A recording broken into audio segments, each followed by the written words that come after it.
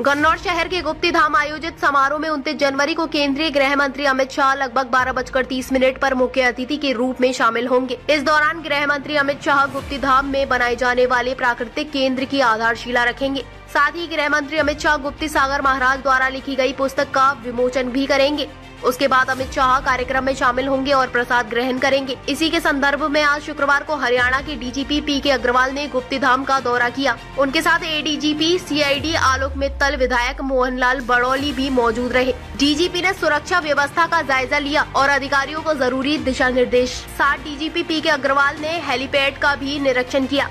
उनके साथ सोनीपत के police commissioner B Satish Balan, जिला उपायुक्त ललित सिवाच भी मौजूद रहे।